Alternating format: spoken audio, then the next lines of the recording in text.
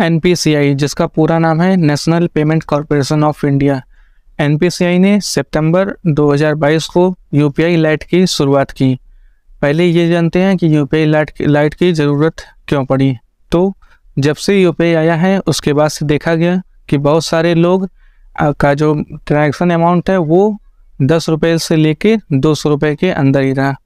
जिससे क्या होता था, बहुत सारे लोग हर एक चीज़ के लिए यूपीआई ट्रांसफ़र करने लगे। जिससे बैंक के सर्वर में इशू आने लगे। तो इसी समस्या को ध्यान में रखते हुए एनपीसीआई ने यूपीआई लाइट की शुरुआत की। यूपीआई लाइट एक ऐसा वॉलेट है जिसमें आप पहले एक बड़ा अमाउंट ऐड करते हैं, उसके बाद उस अमाउंट को छोटे छोटे टुकड़ों में कई जगह पे आप आसानी से पेमेंट कर सकती हैं। ये इसका पेमेंट बहुत ही फास्ट होता है। तो चलिए, आज की वीडियो में जानते हैं कि आप पेटीएम यूपीआई लाइट को कैसे एक्टिवेट कर सकते हैं। कैसे आप यूपीआई लाइट के वॉलेट में एड मनी कर सकते हैं और इसे आप कैसे यूज़ कर सकते हैं। तो चलिए वीडियो को पेटीएम ऐप में यूपीआई लाइट को एक्टिवेट करने के लिए आपको सबसे पहले पेटीएम ऐप को ओपन कर लेना है। पेटीएम को ओपन करने के बाद आपको कुछ इस तरह का इंटरफेस दिखेगा। यहाँ पे आप बैलेंस एंड हिस्ट्री के ऑप्शन पे देख सकते हैं। यहाँ पे यूपीआई लाइट लिखा हुआ है तो इसके ऊपर आपको क्लिक करना है।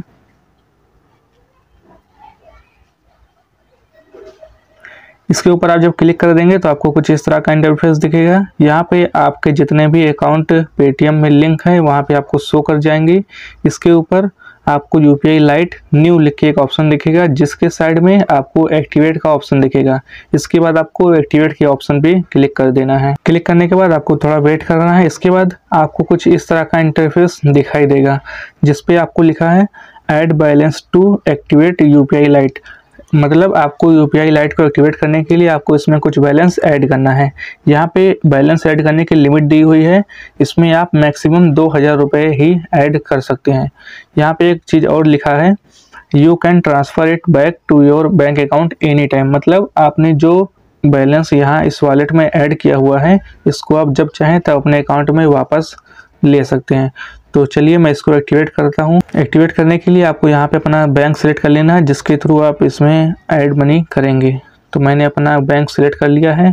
इसके बाद आपको नीचे प्रोसीड के ऑप्शन पे क्लिक कर देना है। जैसे ही आप प्रोसीड के ऑप्शन पे क्लिक करेंगे, आपको एक यूपीआई पिन के डैशबोर्ड पे ले जाया जाएगा, जहाँ पे आपको अपना यूपीआई पिन एंटर करना है। यूपीआई पिन एंटर करने के बाद आपको नीचे सही के निशान पे क्लिक कर देना है। इसके बाद आपका पेमेंट प्रोसेस शुरू हो जाएगा। ये देखिए पेमेंट सक्सेसफुल हो चुका है। चलिए अब यू यूपीआई लाइट में चेक करते हैं बैलेंस ऐड हो गया है या फिर नहीं। तो इसके लिए आपको नीचे होम के ऑप्शन पे क्लिक कर देना है। इसके बाद आपको यू यूपीआई लाइट के ऑप्शन पे क्लिक करना है। यहाँ पे आप चेक कर सकते हैं कि हमारा यू यूपीआई लाइट का वॉलेट सक्सेसफुली एक्टिवेट हो चुका है।